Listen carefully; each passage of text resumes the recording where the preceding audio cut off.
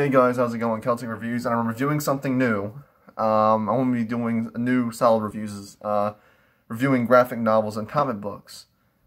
Um, I'm not only a fan of video games, movies, and TV shows, I love comics. I'm a, I'm a nerd, right? I grew up reading Spider-Man and X-Men and all that, and Batman and shit like that. I, I love comics.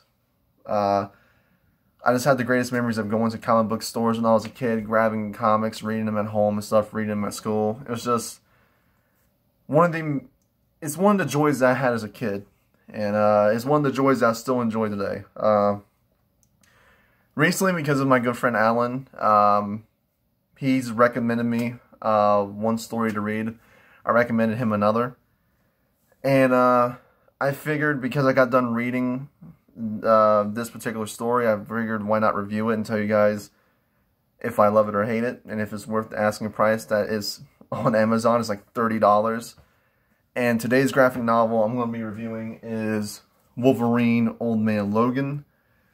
Um, I'm a big Wolverine fan. Um, there are some stories that they have done with Wolverine I necessarily didn't care about, though. I feel like there are some opportunities they could have done where it just feels like they wasted that opportunity. But when I was a kid, I did hear about Old Man Logan. It was going to be one of the most brutal and violent Wolverine comics to come out. And I wound up missing the opportunity to get it. Um, I I regret it. Uh, I wish I would have read it as a kid, but Recently, I picked it up on Amazon for $30. It's still available. Uh, you get paperback or hardback. I usually go for the hardbacks because it helps protect my books more. I And plus, I love the feel of opening up a hardback more than paperback. It just feels like it's it wears down eventually, and I don't want that to happen to my book. So, uh, Old Man Logan, is it good? Is it worth your reading time? Is it worth going through 235 pages of book? Fuck yes.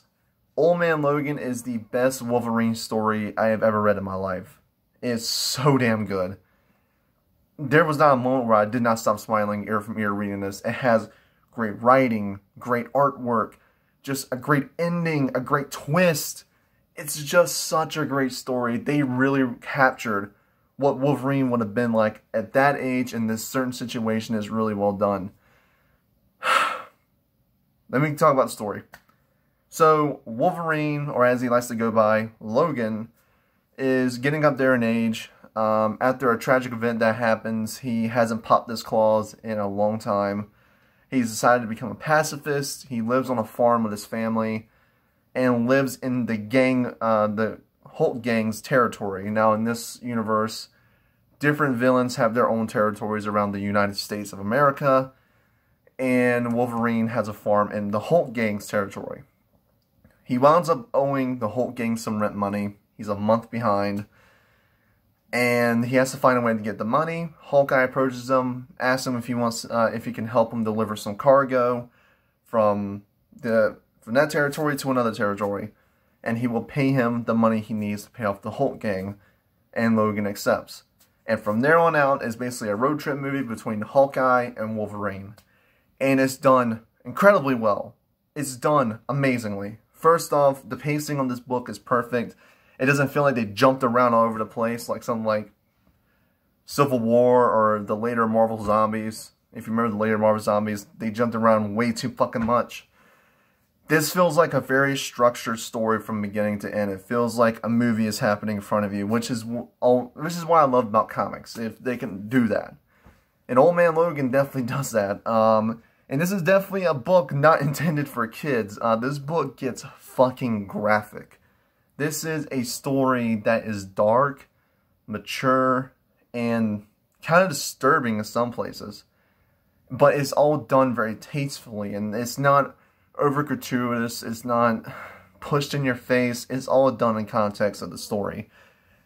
And I like that. It's, it's, it's really good. Um, the things they've done with certain heroes and villains was very unique. What they did with the Hulk gang was kind of fucked up. Seeing an inbred Hulk family was kind of why, but it makes sense once you read it why they chose to do that. Um, you know, having, I will say this, the story is so well done. There was a scene where I did cry when I read it. I actually started tearing up. And that's hard to do, especially with reading material for me. Like, I don't normally cry when I read books. I mean, I say that for video games, TV, and movies. But Old Man Logan had me tear up at one specific scene, and that's really hard to do. Uh, the ending, oh my god. The fucking ending to Old Man Logan is one of the most fucking badass, like, things I've ever seen. It's so well done. The moment feels earned, and it just has a great, satisfying conclusion. The artwork is really well done. I'll show you a page of the artwork without spoiling anything. Here you are. So this is technically what the artwork looks like. It's really well done, really gorgeous artwork. Um, and it's, it's really well done. Uh, and it's a lengthy read. It took me about two hours to, an hour and a half, two hours to read this entire graphic novel. And my time was really well spent. Um, I really enjoyed it. And, uh, yeah, just the fact that I got to see Wolverine in this state was awesome. And the ending is so worth the read. Trust me, if you guys find this in your store or get off Amazon, read till the end. Because everything that happened prior to that will feel so fucking worth it. I'm telling you, the ending was so fucking good. Oh my god. I loved Old Man Logan. It is a great story. It is so well worth the purchase price of $30. It's fucking phenomenal.